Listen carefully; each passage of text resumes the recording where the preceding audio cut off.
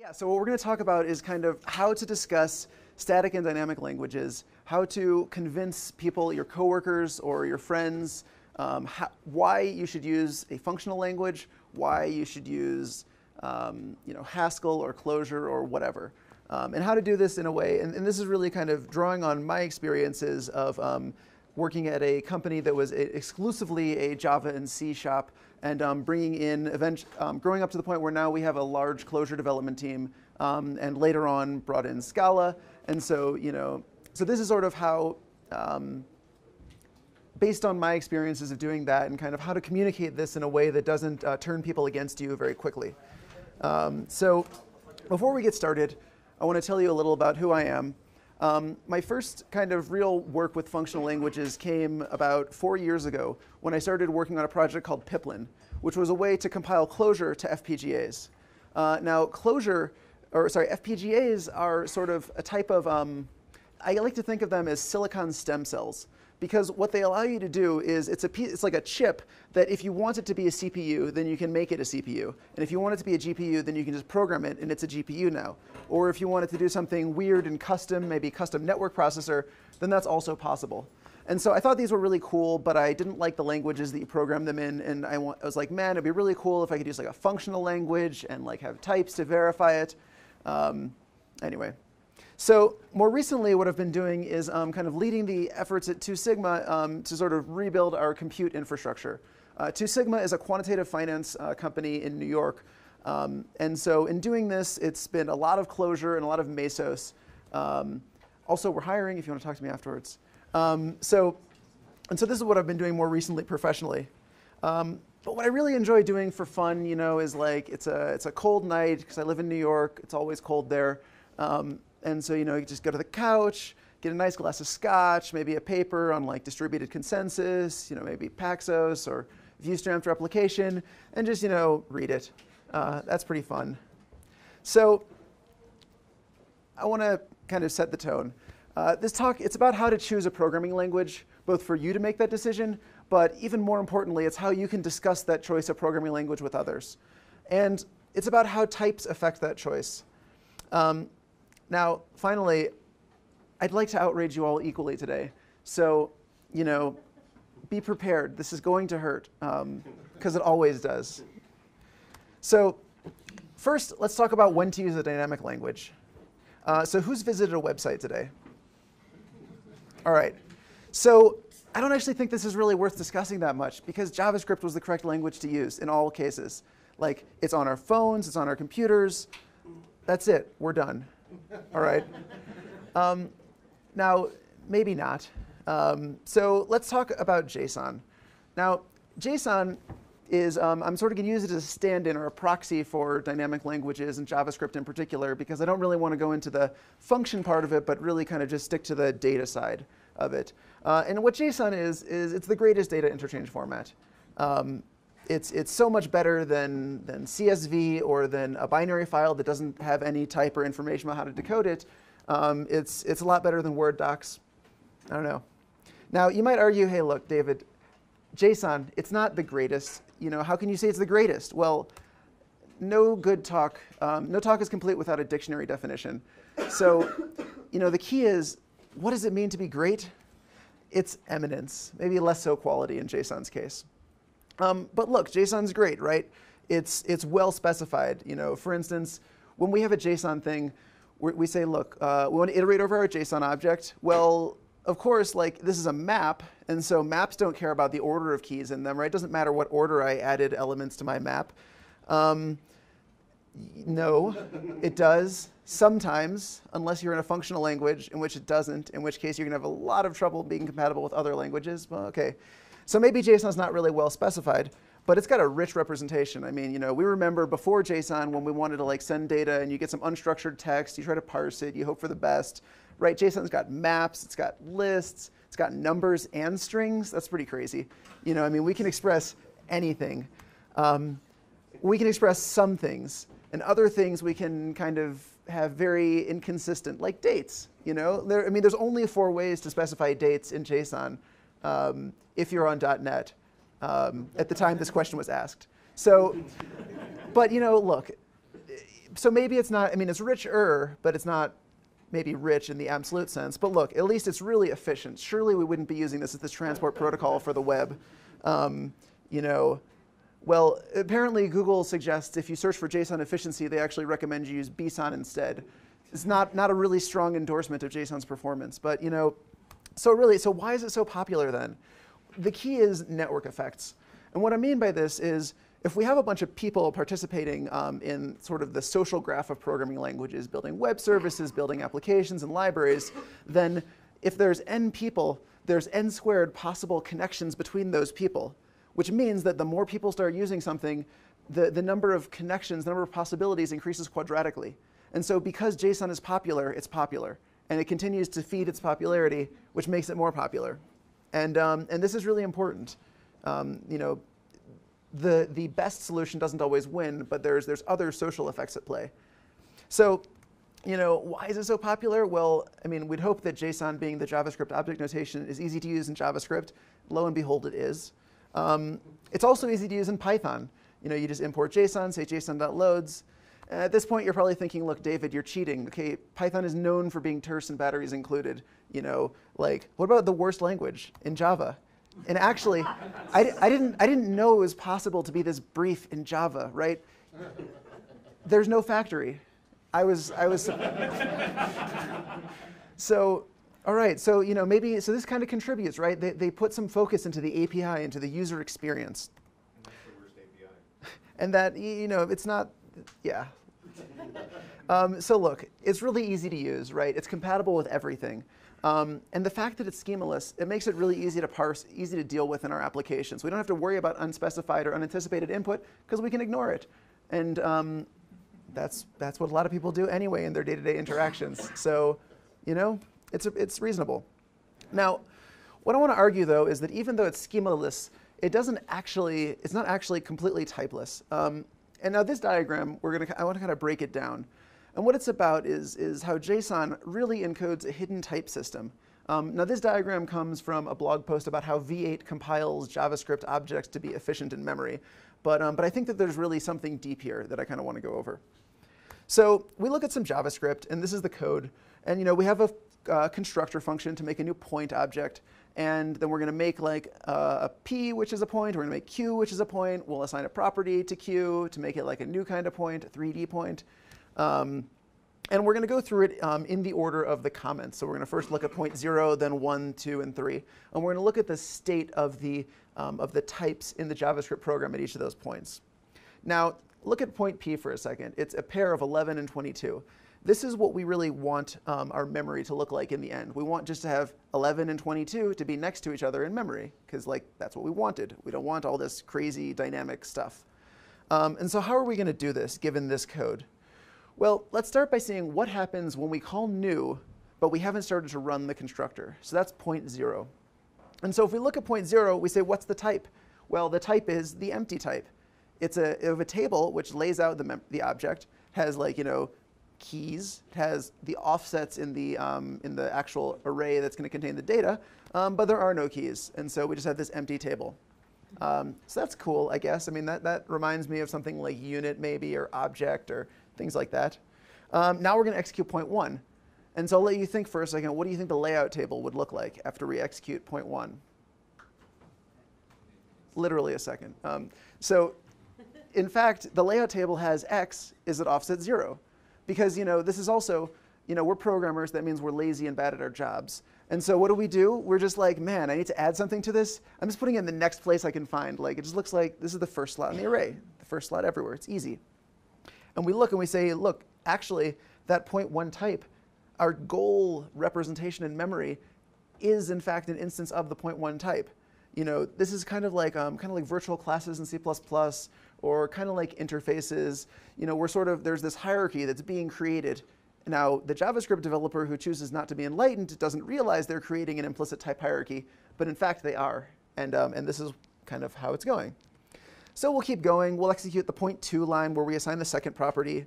Um, you know, of course, we expect the layout table. We say, OK, well, we have a new thing, y. We're going to put that at the next available offset in the array because uh, we're lazy. That's what we do. It's also faster.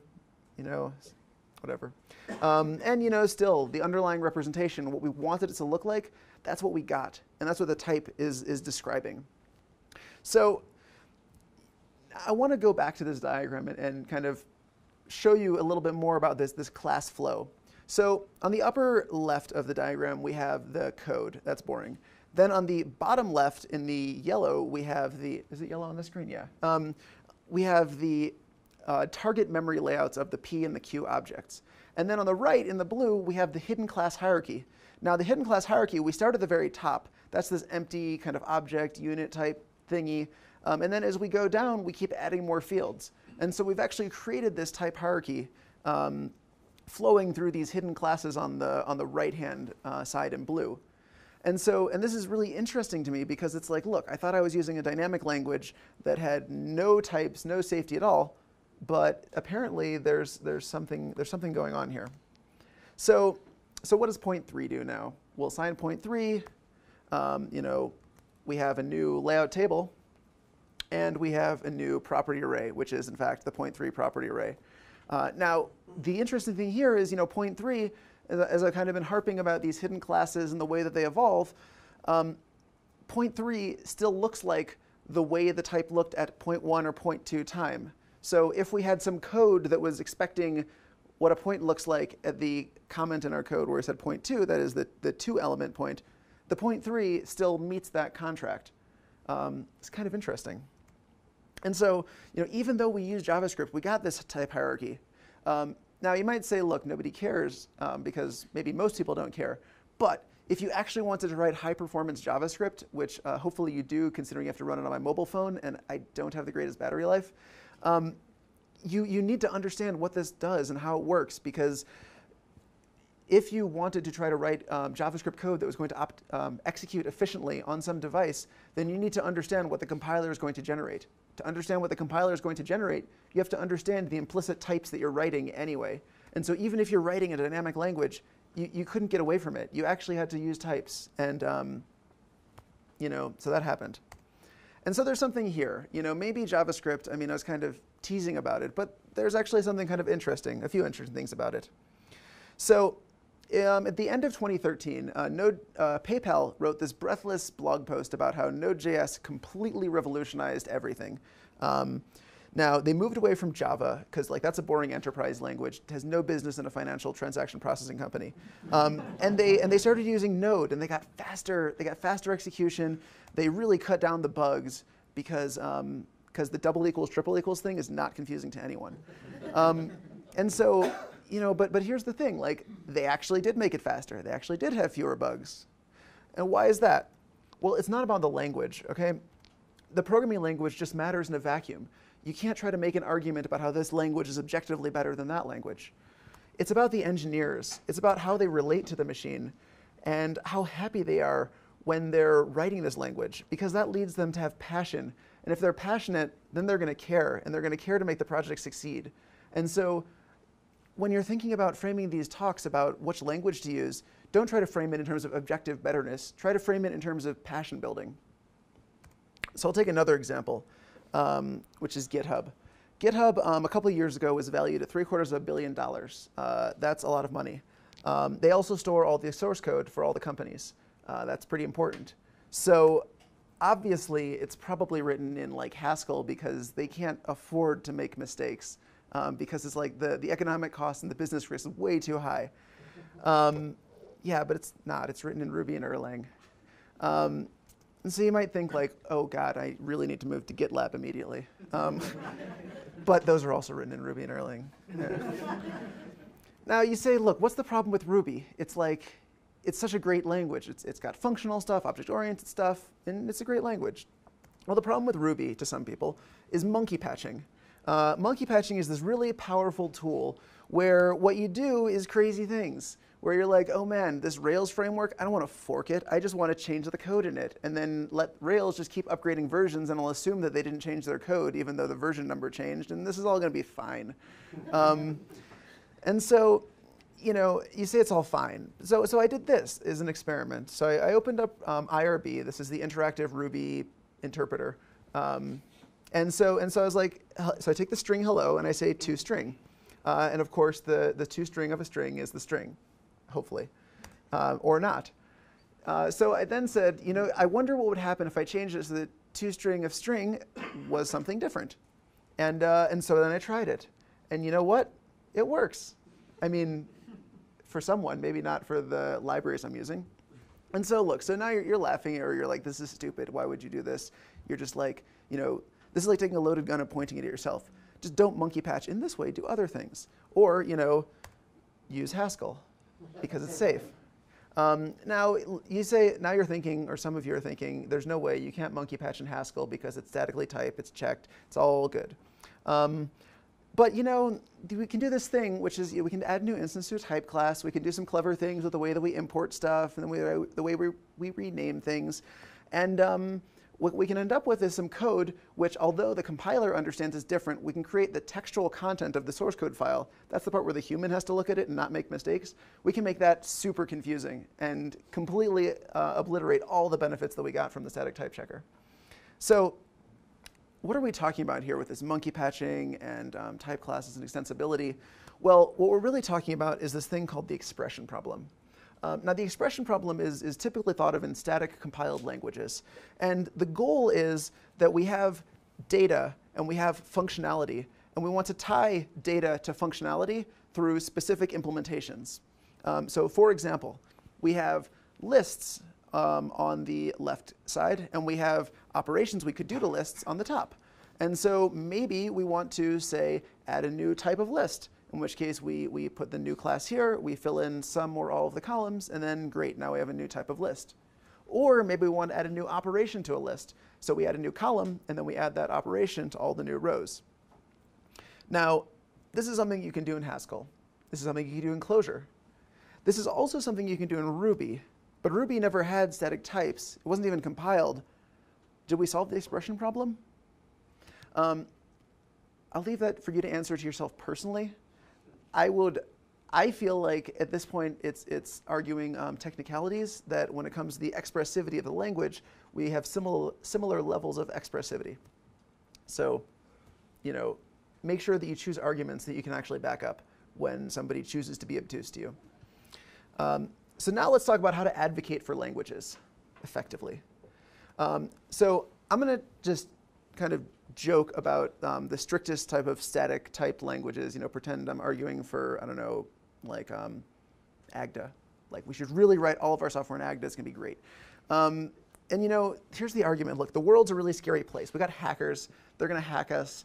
Uh, types mean that we don't have memory problems. Hackers attack memory problems. It makes a lot of sense, you know. But we got Metasploit. And then it's like, oh shoot, right. Although my application was written in Agda, you know, it turns out that I was using Nginx, and Nginx has a pre-bundled exploit so that any random high schooler can download it on the internet, and they, you know, they're just like, oh, what if I type Metasploit your company, and then Metasploit, um, for those of you who don't know, uh, sorry NSA, is um, it's this open source tool you can download that has all sorts of um, hacking attack payloads. You just point it at a server, and it figures out how to exploit it for you. Um, and all the hackers in, use it for their and like security researchers use it for exchanging their security research code in kind of a common framework. So you know, here's the point: programming language choice isn't actually protecting us against hackers. It's not really protecting us against Metasploit. So so what are we considering then? If it's not about real safety, like from the hardcore safety sense, maybe it's an ethical question. You know, it's not so much that we really believe we're totally protected, but it's that we need to be responsible. And so the aforementioned JavaScript developers, they're unethical, and they should have their licenses revoked. Or we could license them first, and then we could revoke their licenses. So, all right. So there's a guy named Paul Snively. Um, Paul Snively is really respected in the Scala community. He blogs a lot about type systems, um, and he spoke at Strangeloop in 2012 and in 2014. Um, the first time he spoke at Strangeloop was um, this talk called Types versus Tests an Epic Battle. Um, and he and another person, they, they basically, they got on stage and it was basically, it was WWF for programmers. So it was a pre-scripted battle of whether you could write the program with a typed language or a test-driven development faster and with fewer bugs. And obviously types won, um, because both of the developers prefer typed languages. But I mean, it's really entertaining. Um, yeah, it, it, was WWF, right? It's just like this is just, you know, I mean, sorry if you if you didn't realize that that was like all staged wrestling, it, it was. Um, was kind of predetermined. Okay, so now the second talk um, is a talk that uh, I've I've spoken to Paul about, and the thing is that um, what I'm going to tell you about is something that he also knows that he shouldn't have said it this way. He, he, he's already come to the same conclusion that I'm going to point out. So that's my pre disclaimer. So the second talk was called Type Systems The Good, of the Bad, and the Ugly. Now, in this talk, um, he said some things uh, about, about people. And so I'm going to show you a sample audience reaction.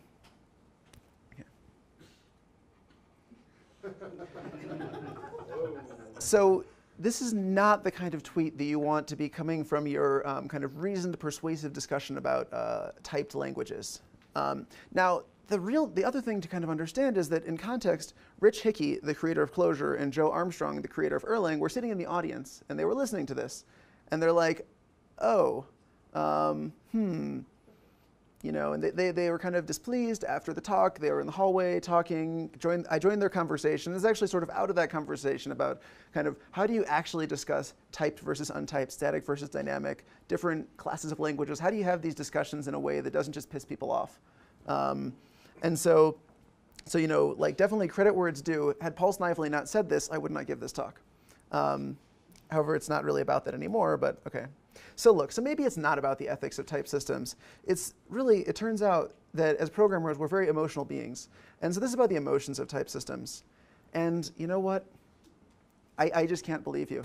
I refuse to believe that my beloved language, like you're telling me that Clojure isn't the best language for command line tools? Well, I mean, I don't see how we can continue being friends. um, so I live in Brooklyn. Um, Brooklyn has a lot of hipsters. Um, I, we don't have all of them, but we have a, we have a bunch. Okay, um, and so the thing about it is, you know, so I've, I've gone to bars with friends, and I'm, I'm not really much of a beer drinker. I go for like the Blue Moon or something, and then they go, they're like, oh, oh, you don't prefer the double hopped ultra dark IPAs? How quaint. Um, don't be that person when you're talking about languages and types. You know, no, being a snob just makes you seem condescending, and it turns off your listener from being even willing to hear what you're saying. So you really have to be careful not to sound snobby when you're talking about your obvious. Uh, I know functional languages are, are superior. That doesn't mean that your audience will know that when you're having this conversation next time. All right. So given this, like, what, what can we really use to drive our decisions, and what can we really use to drive our, our conversations? Business needs. Profit. That was a joke, by the way. Um, I mean, I'm also serious in that, like, actually, you know, remember, like, why are we even paid, right? It's to sell stuff. Ultimately, we have companies, the companies sell things, and the companies give us money so they can sell more things. So, you know, in some sense, though, you really should remember, like, the business needs are important. And so we're going to talk sort of about how we can frame um, using typed languages, using functional languages in the context of business needs in a way that you can be successful with non-technical management and with um, you know, technical peers who perhaps aren't on the FP bandwagon yet. Um, so look, here's the plan that, that the engineer comes up with. The engineer is like, all right, look, we're going to use more types. Those types are going to remove the bugs, and that's going to deliver value to the company. That value means we make more money. It's going to be great. And so the engineer says this to, their, to the project manager, and the project manager is like, okay, that's an interesting plan, but guess what? We're going to ship it now. We're going to open a call center. They just removed the minimum wage laws in country X. Like, done. This is going to be great. The, the, minim, the minimum wage call center is going to resolve database inconsistencies manually. Don't even worry about race conditions or transactions anymore. Like, we have someone to do that, okay? And we pay them 50 cents an hour. Um, now, this is, this is kind of terrible, but it's also true. Like, I'm, I'm sure that everyone at some point has either worked on or used an application that, that had this, this very model. I, I, mean, I have anecdotes from friends of mine where they were working, say, on, um, on retail applications, and they're like, oh, well, like they want to be able to, the customers want to call in and, you know, um, I don't know, they want to like change their order. And, they're, and so they're like, well, we should add a way for the, for the call center rep to change the order. And they're like, no, don't worry about it. Just make a new order, make an old order. Oh, and they're like, what about transactions? What if the item goes out of stock? Eh, it's a few customers you know. So now, so the project manager is like, okay, great, We're, we shipped it now, this is gonna be good. They go to the executive and like, executive, we have this great new plan. And the executive says, guess what? I was looking at the balance sheet, and the engineers get paid the most. So let's fix this. Um, we'll just fire the engineers, leave the product to kind of kind of wither, but it doesn't matter because our customers don't even have a choice. Um, it's like what the federal government might do. um, so, but look, you know, really, this too is delivering more value to the to the people who are the real value stakeholders.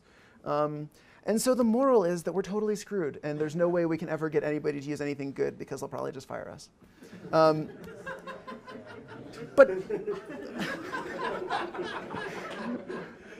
but type but types are really great, um, and this isn't exactly true. And so what I want to do is I want to make a distinction because there's a really important distinction. I keep saying types, um, and everyone in the audience knows exactly what I mean. But when you go back to work and you say to your coworkers, you're like, man, we got to use a typed language. Um, they're going to say, we are. It's Java. Um, and so then what I would say is, well, the question is, who is your type system for? Now, there's two, two things your type system could be for. It could be for the computer. That's things like Java, C, C++, Go. These are the languages where the type system's purpose is to let the compiler generate better code. That's the only reason there was a type system. And that's why, take Java, and Java collections and Java generics, those aren't even in the actual output of the compiler because it doesn't care. Because that was something for people, and we didn't care about people. The goal was how do we make containers for objects, and everything's an object, done. Um, you know, and so this is this is one type of language, right? It's it's oriented for the machine, making it go faster, making the compiler have some insights. Then there's human typed languages. And the human typed language, that's something like OCaml or Haskell. Um, these are languages where the type system is there to help you find problems with your logic and with your reasoning and help show you where you have flaws and inconsistencies in your, in your thought process so that, the, so that the computer can actually help you, you know, do your job. It's crazy. Um, so this is the argument that, that I heard so many times. But Java helps me reduce bugs. I use collections, I put types on the collections. It's amazing. Like I have never tried to get, you know, a foo out of the collection and then called it as if it was a bar and it got all messed up. That doesn't happen anymore. But here's the thing. Does the type system, does it prove the global properties of your system? And does it guarantee zero runtime errors? The fact that in Java you can say throw new runtime exception kind of eliminates the notion of the Java's type system is really that powerful. Um, and so this is something you know to consider, right? Is, is, is who are you talking to, right? A lot of these developers, and by these developers I just mean developers um, who aren't here. You know, a lot of developers they, they haven't used uh, computer they haven't used these computer typed languages. They've only had human typed ones. So if you say let's use a typed language, they're not going to understand what you're saying. You're not even you're you're both saying types, but I say types and mean Haskell, and you say types and mean uh, Java or C if, you, if you've ever dealt with C arithmetic and what number type comes out of doing operators, it's always int. It's very confusing. Um, so first, you have to create the distinction, and you have to really make sure that the audience that you're talking to uses the same terminology with the same like backing dictionary. Um, so, all right, so when should we use typed languages? Well, there's a bunch of times when we really have an excellent way to kind of get these into the system. And these are those times. If you're building databases, aerospace, transportation systems, you know, nuclear power reactors, planes, um, these things are critical. And, and the reason I call them all critical, and you know, you can take your own um, business problems and kind of map them into this critical domain. And the way you can do that is by saying, what is the impact of an issue? Well, the impact of an issue in these cases is a big problem. If you lose customers, that's a big problem, right? We don't want to we don't want to be like, oh right, GitHub went down for six months, and so now they don't have any more customers. That would be a big problem. So when engineering their system, they have to make sure that that is not one of the things that could happen. And if, if types, if you can kind of create an argument for why are types going to help prevent this from happening, that's a real compelling case to get a typed language, to get a functional language into the project and into the company going out, running out of customers, that leads to bankruptcy. This is another thing. This is a thing even a completely non-technical manager or executive will understand. Um, well, some of them, the ones that don't have golden parachutes. But a lot of them, most of them will get it, that bankruptcy is bad. And um, again, depending on the industry and the person, you know, there was, there was recently an Airbus crash that happened because of um, bad software development checks um, where uh, some, some things about contractors using languages, not integrating components properly, and the plane crashed. That's really bad. People could die. And most people they, they understand that when in questions of life or death, that um, type systems are a good choice. Um, now, this might seem hyperbolic, but sometimes hyperbole is the only way to really get your point across. So, all right. So how do we trust our software then? Because there's many ways we could trust our software. Well, one thing we can do is we can do a design review, right? Before we get started, we can just make sure, is the thing that we're thinking about doing, does it even make sense? Is it even going, does it have any potential to work? Can we identify flaws in the project prior to starting? The second thing we can do is we can do code review. This is kind of, you know, as we're going along, we're evaluating the software that our peers are writing, and through peer review, identifying, you know, potential problems, um, heading them off. You know, hopefully we're all doing these things. We're all doing unit testing, integration testing. I don't need to explain what those are, I hope. Um, and there's static analysis. And in static analysis, I'm kind of lumping together here both things like uh, type systems like you get from a, from a human type language, and also uh, things like Coverity and FindBugs. These are Coverity is a kind of a C and Java uh, identifying potential problems in the source code before you ship the application, or FindBugs is identifying potential problems in the bytecode of a Java application, you know, trying to prevent you from doing that. And then, you know, lastly, and kind of the, the 200 pound gorilla hammer is uh, theorem proving. This is where you say, well, look, you know, languages are nice and all, but I want to use a separate language to explain what I think my program does, and then have you know some some other you know researcher's tool analyze my specification of the program to make sure that it's consistent and sound and has whatever property it is that I want it to have. Why does it need to be a separate language? That's an interesting question. It doesn't need to be, but in practice, um, the theorem provers that are sufficiently powerful to prove theorems tend not to have good enough performance for, because also generally when you want to prove the theorem, you also, it's because the application has some kind of criticality aspect. And so, you know, it's unlike, it, it today, there are, at least I'm not aware of, um, language of, of systems that have undergone, you know, the, the years of consistent use where I would trust the theorem prover and its output. Um, and uh, I'll talk about uh, one theorem prover in particular that's really cool in a little bit. Um, that is like, yeah, it's really cool. I don't want to spoil it. So I want to talk about these last two things because these two things, to me at least, they're spiritually they're connected with typed functional programming. Um, you know, and the, they're, they're both about saying, look, we're not going to run your program to see if it works. We're going to look at your program to see if it works. Um, so I'm going to talk about static analysis and really specifically about types in, in the form of anecdotes. So the first anecdote I have um, is about a friend of mine named Matt. Um, Matt builds spaceships, and, or satellites really, um, and, and Matt frequently says he's a terrible programmer. He's like, man, I really suck. All I do is program in C and Haskell for these aerospace like satellite things, but like I'm really bad, and that's why I write Haskell. It's because I'm like such a bad developer. It's like ha only Haskell is the only thing I can do. Like I tried using Python, but I'm way too bad for Python. Um, so you know, I was, I'm like listening to him. I'm like, what is this guy saying? This does not reconcile at all with my understanding of the difficulty of the languages and the problem domain that he's working in. And here's the thing Matt's a great programmer. And the reason that he uses Haskell is that he knows that for his business, it's life or death for his company. Because he works at a small startup, you know, they raised, I don't know, I'll make it a million dollars in funding, and it cost, you know, $900,000 to launch a satellite.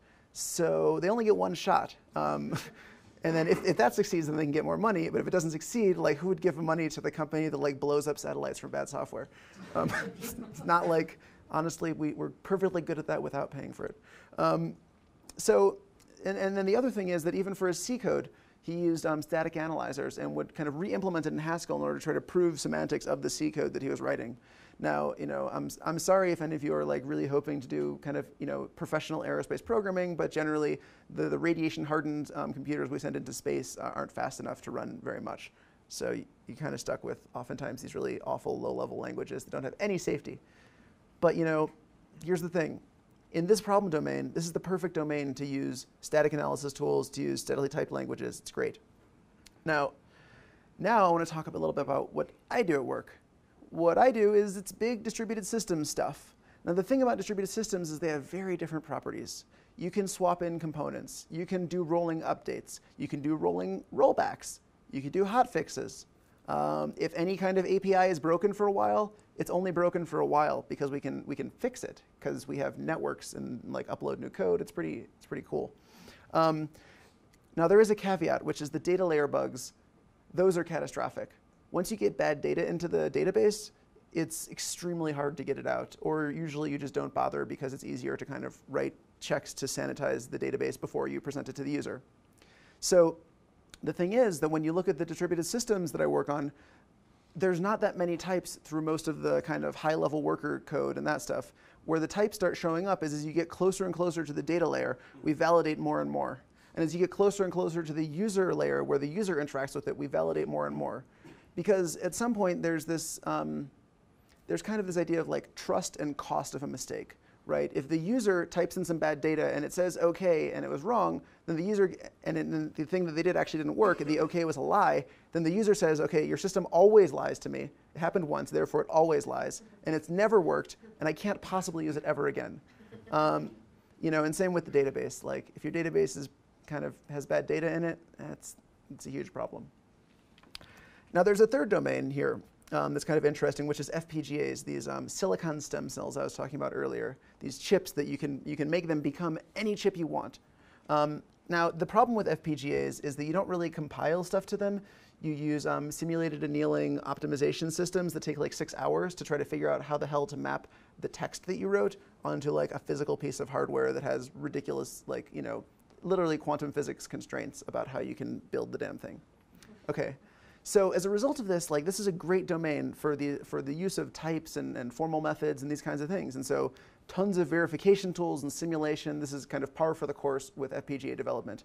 If you're not using these things and you're an FPGA developer, you're, you're not an FPGA developer. Like it's just not possible. Um, so and so there's been a lot of work actually here. You know, if you're interested in, in kind of a, a different type of domain where types are necessary, it's not always just the criticality of it, but it's the developer productivity. In this case, we have things like BlueSpec, which used to be Haskell on FPGAs, but then turned into this horrible bastard child of System Verilog, which is the worst programming language. Um, maybe uh, Mumps might be worse, but it's pretty bad, okay? So BlueSpec, that was like one project from MIT. There's Clash, which is another Haskell on FPGAs, but much more, much more like Haskell and less like that other thing. Um, and that came from the University of Twente. I hope I said that right. Um, there's Piplin, which is a project that I wrote that compiled Clojure to FPGAs. Now you might be thinking, maybe you saw some of the Clojure talks today and you're like, wait a second, Clojure doesn't have types. And you're, you're saying types, types, types. What's up? Well, part of what Piplin did was it made um, sort of a another a simplified type system that could particularly deal with the idiosyncrasies of FPGAs and map those into a, a type checkable domain. Um, and then there's Chisel, which is Scala on FPGAs, and that was a project done at Berkeley. So you know, the thing is that the context, the requirements, the decisions, all these things are feeding into each other, right? How long does it take to develop? How long does it take to test? How can we deploy? When can we deploy? What's the impact of breaking our system? These are, these are uh, leverage points that when you're trying to sell the use of a typed language or a functional language, you can use these leverage points in order to make the case for why you should, why you should use a language rather than just it's better or it's more fun. Actually, it's more fun is a good one, as I was saying earlier, but it's better is not a good one. Um, all right, so I just want to kind of, in the final section, I'll make the case for why types are absolutely the best. All right, now this is actually definitely not what you should do. Um, I know people, I'm sure, have done this at various times, and this is not going to work. So you say types are theorems about what the function does. Yeah, some of you know where I'm going with this. Um, and programs are proofs. And this is called the Curry-Howard correspondence. Um, so now the person you just said this to, this is their reaction. They say, theorems and proofs.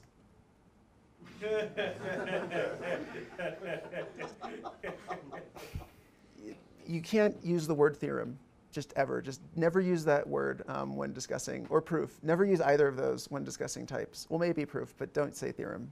Nobody likes that. Um, or the people you need to say that to are not the people who will be receptive to that word. Um, so look, then the other question is, look, why would we use types when we could use TLA plus? Because we just said types are theorems and theorem proving. TLA plus is this, um, it's a really interesting um, way to specify the behavior of, of sort of time-oriented systems and potentially distributed systems in order to verify their properties and, and verify that, that the algorithms that we're using actually do what we think they do. Now, what, I'm sure your logic is, is like, well, I'm saying we should use Haskell rather than re-encoding our program in TLA+, because it's way easier. It's way easier to use Haskell than it is to use formal methods. Um, so here's the thing.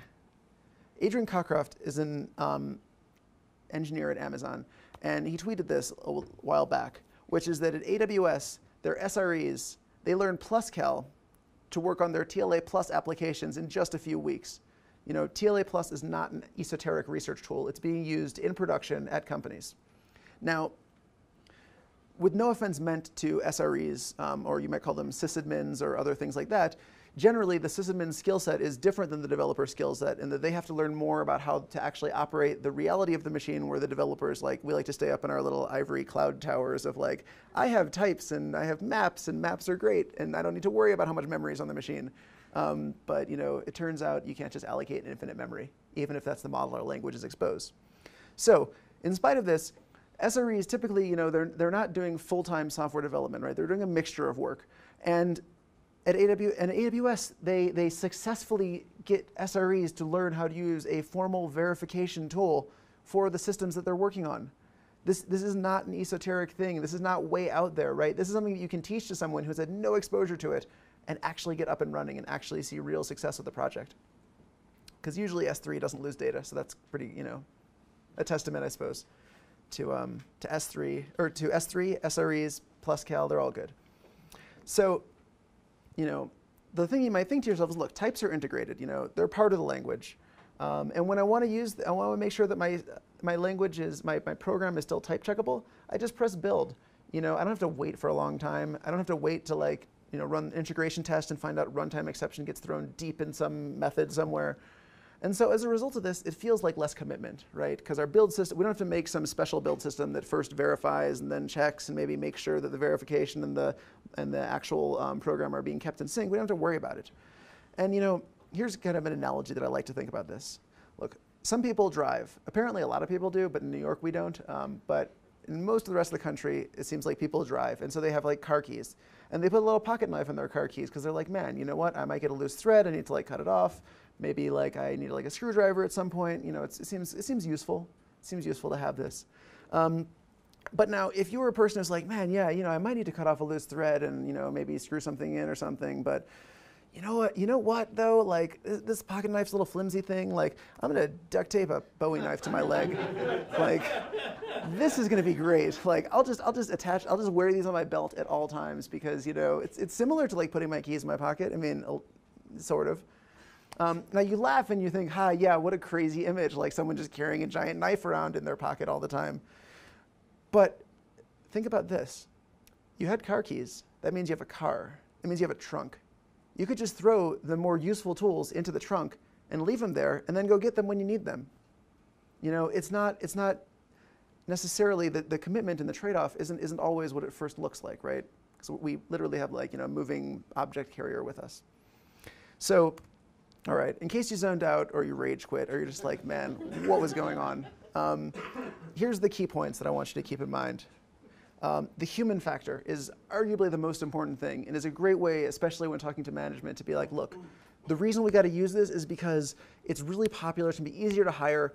We're having, you know, like our developers, they don't seem that happy recently, like that project's really slogging. Like this is going to like breathe new life and passion into everyone. It's going to really rally the troops. Um, and so, so this is like a, a, great way to make the argument for why to use types, why to use functional programming. Don't be a beer snob. Um, Haskell is a great language, okay? Facebook is a multi-billion dollar company and they use PHP. So from the object, from the measure of how valuable is the, is the sort of the software, you know, the language honestly doesn't actually have that much impact on the value of the software. There's other factors. So don't be a snob when you're trying to talk about these things. Um, what you should talk about is the cost of failure, right? Can we redeploy? To be tough to make a new call to like say we need all this extra hardening of the system. Are we going to go bankrupt? It's a lot easier to say that we should harden the system a little bit more. So, you know, and the last thing I want to say is remember that formal methods, they shouldn't be relegated to research labs. They're starting to see use. They're pretty hard to advocate for, but I mean, people are actually using them in production, in the wild, um, and in you know, business use cases that don't have any kind of academic tie-in. And so the thing to remember is that there's a spectrum. There's a lot of choices. Uh, dogmatism isn't really going to get you anywhere. That's just another way to be a beer snob. Uh, thanks.